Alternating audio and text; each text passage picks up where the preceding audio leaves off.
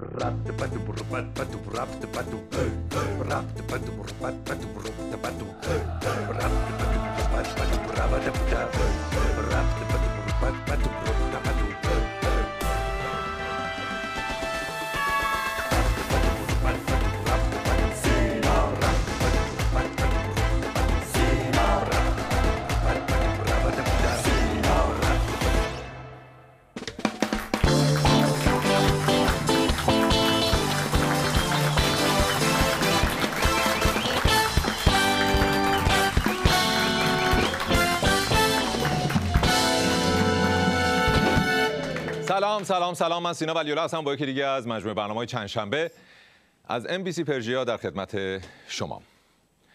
این هفته هم مثل هفته گذشته ما با قلبی شکسته عزادار هموطنان عزیزمون در آبادان هستیم. موضوعی که ما در ابتدای برنامه هفته قبل هم بهش اشاره کردیم. اما خب خادمین ملت تا همین سه چهار روز پیش هنوز خبردار نشده بودند چون همونطور که می‌دونید بین نقاط مختلف جهان همیشه یه مقدار اختلاف زمانی وجود داره. الان اینجا شبه ولی یه جای دیگه دنیا روزه. و طبیعیه که وقتی یه ساختمون تو آبادان میریزه رو سر مردم مسئولین از اون در تهران یه کوچولو طول بکشه تا بفهمن. هیئت دولت ضمن تسلیت مجدد به خانواده های داغ دیده فردا یک شنبه را در سراسر کشور عزای عمومی اعلام می نماید. باز خدا پدر دولت قبلی رو بیامرزه که خبرها با 24 ساعت تاخیر بهش می‌رسیدن. این دولت انقلابی نه که تمام مدت سرش تو ما تحت مردمه تا بخواد در بیاره ببینه کجا چی شده خودش چند روز زمان می‌بره. البته باز یه هفته تاخیر خوب اگه شبکه اجتماعی و اینترنت نبودن اینا احتمالا تازه الان واسه زلزله بم اعضای عمومی اعلام کرده بودن.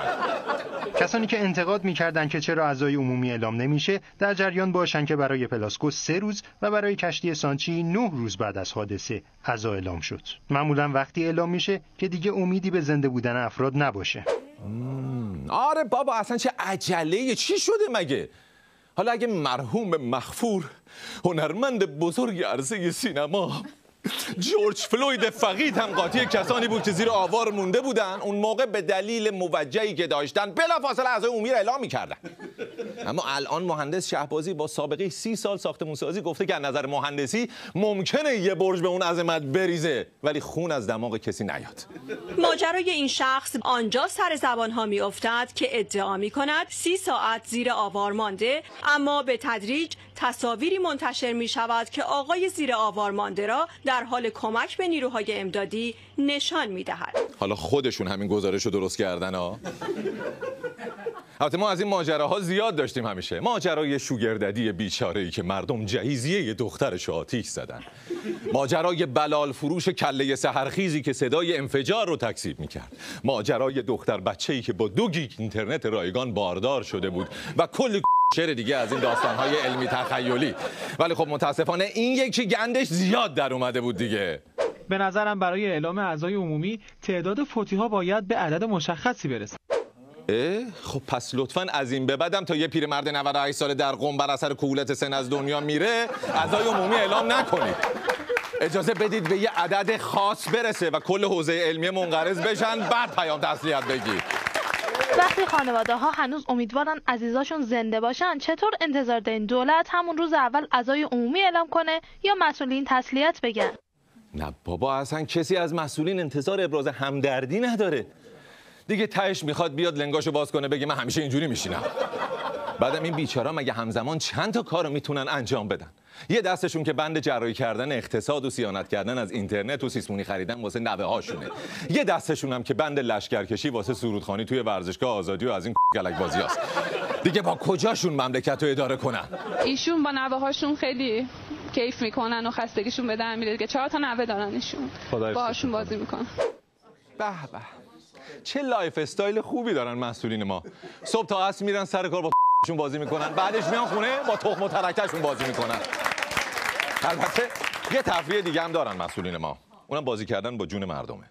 سردار محمد حسین حمیدی فرمودند که سالیانه چهار هزار نفر به صورت مستقیم و غیر مستقیم جون خودشون رو به دلیل آلودگی هوا از دست میدن. چیزی نیست که. به قول خودتون کلا میشه معادل 22 تا هواپیمای مسافربری ناقابل. بیش از پنج هزار نفر از هموطنان با کمال تأسف در تیر ماه بر اثر کرونا جان باختند. این آمار تعلم برانگیز معادل سقوط سی هواپیمای مسافربری 170 تا 180 نفره در تیر ماه است. حالا خوبه که واحد سنجش مرگ شده هواپیمای مسافربری چون واحد سنجش خریت شما که طویلا براش کمه. یه هواپیما به اون پهن ببینید موشکایی که هواپیما بزرگ باید بندازه 80 کیلو سرجنگیش. این چند کیلوگرم بود. چطور میشه مثلا هواپیما به این بزرگی نتونه برگرده تو فرودگاه بشینه؟ آره لچ کرده فکر کنم. خاص برگرده ولی شما مهلت ندادی که. آها پس این عزیزان منطقشون واسه شلیک کردن به آدمام همینه. میگن گلوله به این کوچیک اندازه یه بند انگشته. می‌خوره به سر آدم به اون گندگی با دو متر قد. طرف باید بتونه بعدش بلندشه برگرده خونه. این نتیجهگیری های دقیق حاصل بررسی های فراوان از طریق مجاری مخصوص ها شما به در طریق خودتون دارید پیگیری می‌کنید. ما هم از طریق مجاری ادراری که خدمت شما کردیم.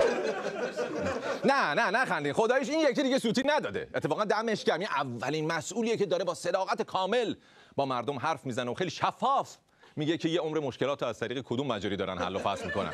البته نه فقط مجاری ادرار. خروجی مقعد و کلا دستگاه گوارششون هم در این زمینه خیلی فعال بوده. دستور رئیس جمهور برای رسیدگی فوری به سانحه ریزش بخشی از یک ساختمان در آبادان خب تموم شد دیگه. اون بخشای نریخته ساختمون هم احتمالاً به زودی میریزن و با درایت مسئولان کم کم به جای اسرائیل باید شاهد حذف شدن خودمون از نقشه جغرافیا باشیم. پیمانکار و مالک ساختمان متروپول آبادان بازداشت شد. دمش گرم. یه بارم دستور این پرپکان زود تند سریع انقلابی اجرا شد و مقصر اصلی رو گرفتن. دادستان خوزستان. مالک و پیمانکار متروپول در محل حادثه کشته شده است. جهان! مگه بازداشت نبود؟ بابا قبلا یه اعتراف اجباری می‌گرفتن بعد میمردن. ولی مثل که از قرار پرپکان دستور رسیدگی مستقیم داده بوده براش. دیگه خارج از صف کارش رو انداختن یه گزارش صدا و سیمایی گذارم با داداشش برای ساختن.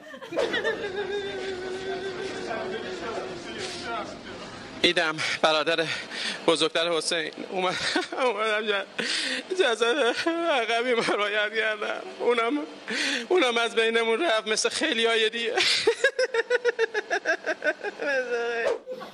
خدا بهشون صبر بده. یعنی ده درصد مردم هم اگر شک داشتن با این گزارش مطمئن شدن. حالا امیدوارم به زندگی پس از مرگ اعتقاد نداشته باشه که ممکن از بهشت خادمین ملت یا همون کانادا سر در بیاره.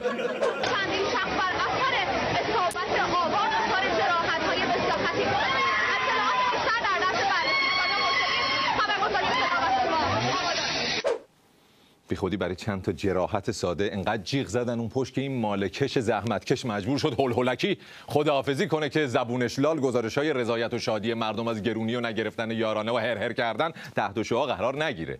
آقای منتظری دیشب در گفتگوی ویژه خبری با اعلام این مطلب گفت با هر قصور یا تقصیر درباره ساختمان متروپول برخورد میشه و تفاوتی نداره متخلفان در قوه قضاییه باشند یا قوه مجریه.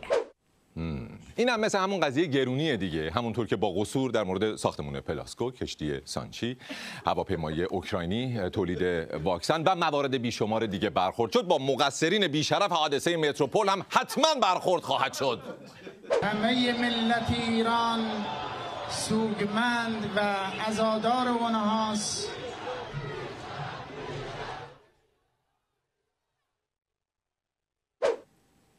بی شرف به مسئولین بیشعور و بی سواد و بی وجدان و بی همه چیز عزیز ما میگید بی شرف حقتون پخش زنده رو قطع کن که از این بعد یاد بگیرید دیگه یه حرفی رو. یا نزنید یا اگه می‌زنید کامل بزنید. البته اگه اجازه گفتنشو بهتون دادن. 129 ساختمون بحرانی داریم. 3500 ساختمون پرخطر داریم. نمیشه بگید اسمشونو؟ ببینید آقای مهندس اگر اجازه بدید چون واقعا اینها تعدادشون زیاده و فعلا به ما اجازه این در واقع این داده نشد. اصلا گفتنم نداره. وقتی خراب شه بریزه رو سر مردم همه اسمشو می‌فهمن دیگه. تا حالا کسی اسم متروپول به گوشش خورده بود؟ نه. ولی حالا همه ایران و جهان میشناسنش. بی خودی که آرامش سازه‌ای کشور رو به هم نمی‌زنن. آرامش کرونایی ایران در حالیه که در بسیاری از کشورها هنوز مرگ و میرهای کرونایی بالا. یعنی الان دیگه خود ویروس کرونا خودش فراموش کرده. یادش رفته اصلا یه روزی وجود داشته. اما اینا هنوز دارن باهاش واسه سلسله آنگوزمانیان حماسه می‌سازن. وزارت بهداشت اعلام کرد نخستین روز بدون فوتی کرونا در کشور پس از دو سال و صد روز ثبت شد. البته مسئولین عزیز یه وقت نگران نباشن ها کرونا هم دست از کار بکشه ما خدا رو شکر اونقدر پراید واسه تصادف و هواپیما واسه خطای انسانی و ساختمون واسه ریختن داریم که صفر شدن آمار فوتی های کرونا رو جبران می‌کنه واسمون. این موفقیت بزرگ رو از جانب وزیر محترم بهداشت به محضر ملت بزرگ ایران تبریک عرض می‌کنم. یه جوری میگه موفقیت بزرگ انگار که با کرونا یا به قابلمه و دود کردن پشکل گاو و سرکشیدن شارژ شطور و شیاف کردن روغن بنفشه کرونا رو کنترل کردن. نه با واکسنی که یک کشور دیگه ساخته بود. دست شماها بود که ملت هنوز داشتن زری لیز می‌زدن لامصب. چی تبریک میگی؟ تقریبا 50 درصد عمر متوسط هر ایرانی اضافه شده. هر کی بهتون گفت جمهوری اسلامی چیکار کرده برای ما بگید که 50 درصد عمر شما رو زیاد کرده. برای کی داره حرف؟ نشون بده ببینم کی نشسته داره گوش میده اینا رو. پس با وجود این همه پراید و اعدام و متروپول و کرونا و پلاسکو اگه شما نبودین کم کم بالای 90 درصد اضافه می‌شد. الان همه واسه خودشون یه پا جنتی بودن. البته نگرانی نداریم یه قانون جدید تصویب کردن که اون 50 درصد به زودی بشه منفی 50 درصد. همچنان از ایران لایحه اصلاح قانون به کارگیری سلاح توسط نیروهای مسلح در کمیسیون امنیت ملی مجلس تصویب شد. این لایحه شرایط استفاده از سلاح گرم و شلیک از اون رو برای نیروهای مسلح و ماموران امنیتی آسون می‌کنه آخه. آخه قبل این کارشون خیلی سخت بود. قبلا 1500 نفر رو فقط می‌تونستن هم به سر و هم به پاشون شلیک کنن. الان ولی دیگه سر تا پا رو می‌تونن ببندن به رگبار. اونم نه توی تظاهرات توی شهر بازی و رستوران و پارک. زوج جوانی که همراه با کودک 11 ماهه خود برای گردش به پارک پردیسان رفته بودند هدف تیراندازی یک مأمور گشت ارشاد قرار گرفتند. خب این که خیلی قشنگه. دیگه از این بعد می‌تونید بچه هاتون رو ببرید پارک تا علاوه بر آب بازی و سرسره بازی و توپ بازی بتونن تفنگ بازی واقعی رو هم از نزدیک ببینن. جان انسان ها برای ما بسیار بسیار مهم است. راست میگه. خدایی تو آبان سه سال پیش به همه ثابت کردن چقدر جون انسان ها براشون مهمه. انقدر مهمه که حتی وقتی می‌خوان یکی رو اعدام بکنن میارنش وسط بزرگترین میدون شهر جلو چش عالم و آدم جونشو می‌گیرن. بی خودی که رتبه یک دنیا در سرانه اعدام نسبت به جمعیت رو نداریم. یعنی داره یه جوری میشه اینکه یه ایرانی با اعدام جونشو از دست بده از اینکه به مرگ طبیعی بمیره احتمالش بیشتره. آبادان رو هم خدمت همه هم شهریان و همه هموطنان عزیزم تبریک و تهنیت است بله تبریک و تهنیت. دیگه به هر حال وقتی شما دو روز بعد حادثه تو ورزشگاه مشغول لشکرکشی و برگزاری کنسرت و جشن پایکوبی باشی طبیعیه که تبریک و تسلیت رو قاطی کنی با هم. رئیس جمهور صبح امروز به آبادان رفت و از نزدیک روند آواربرداری از متروپول را بررسی کرد. وی در ادامه به تیرها و ستونهای تخریب شده دستور داد که هرچه سریعتر برداشته شوند. او همچنین به سایر ساختمانهای ناایمنی که با توف ساخته شده اند هشدار داد که باید مقاوم بشوند و به هیچ وجه روی سر مردم نریزند. آقای رئیسی در ادامه به دیدار خانواده های جانباختگان حادثه متروپول هم رفت. واقعا بیچاره خانواده های داغدار. خراب شدن ساختمون رو سر عزیزاشون کم بود. الان باید خراب شدن رئیس جمهور رو سر خودشون هم تحمل کنن. این هم که ماشاءالله خاکی و مردمی توالت هم بخواد بره یه 20 تا دوربین و بادیگارد دنبال خودش راه میندازه. آقای رئیسی همچنین در جلسه شورای اداری آبادان تاکید کرد با کسانی که برای سودجویی بیشتر و با سوداگری چون این حوادثی را رقم می‌زنند باید برخورد عبرت آموزی صورت گیرد. به به سوداگری. آدم متنایی رو که رئیس جمهور میگه و وقتی تو خبر می‌خونن واقعا فکر می‌کنه رئیس جمهورمون ابوالقاسم فردوسیه ولی وقتی خودش حرف می‌زنه است که به هر حال بعد از این قضیه بعد خیالمون راحت باشه که به جز اون عبدالباقی مالک متروپول بقیه هم قراره بفرستن اونجا که خاورینه انداخت تا در سرمای سوزناک کانادا. قندیل ببندند و درس عبرتی بشود برای سوداگران باندهای قدرت و ثروت.